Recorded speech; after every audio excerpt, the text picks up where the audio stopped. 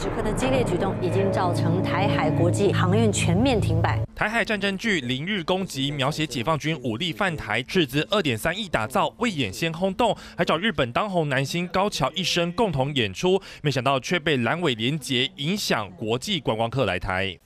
国民党立委李彦秀发文说，台湾自己都在大肆渲染零日攻击这类危机论调，国际观光客会将工厂或战场作为观光首选吗？而国民党智库副执行长林涛说，这是为了影响二零二六选战的绿色军教片。前中广董事长赵少康更批评这部剧是民进党为了选举的认知作战，要选县市长啊，选县市议员啊等等的，就推出这个啊，然后来这个抹红啊。很多人嘛，真正让台湾面对威胁、面对危险，是中共的穷兵黩武，怎么会是一出戏呢？如果有一出戏。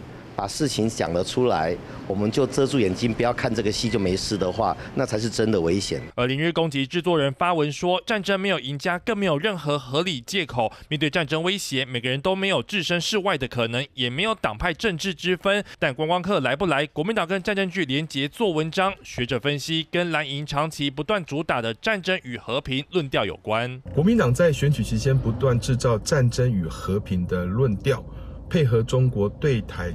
进行恐吓，显然国民党似乎有如国内的第五纵队般，配合中国对台进行相关的施压。观光客来台与否涉及政策规划，蓝营连结战场为基论，难免被质疑是否扯太远。在新闻上，选由播台北采访到。